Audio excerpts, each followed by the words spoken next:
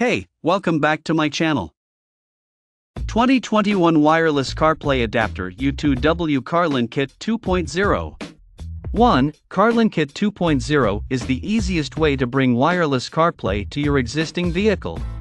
With easy setup, Siri support, and more, you will be up and running in no time.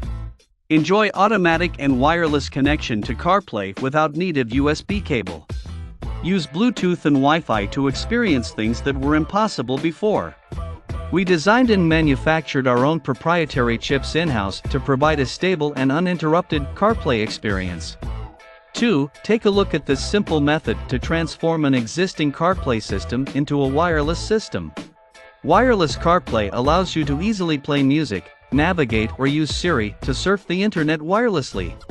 This will convert your wired CarPlay to wireless. This is by far one of the coolest accessories in factory radios equipped with CarPlay. The setup is very simple and can work efficiently. 3. Support iPhones from 5 all the way up to 12.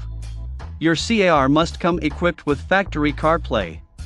4. Connection method Turn on the Bluetooth and Wi Fi networks on your phone. Make sure your phone is not connected to any other Wi Fi or Bluetooth networks and remove the hands free connection from your phone and car system settings. Plug the adapter into the CarPlay USB port. Wait for the interface to appear on the screen.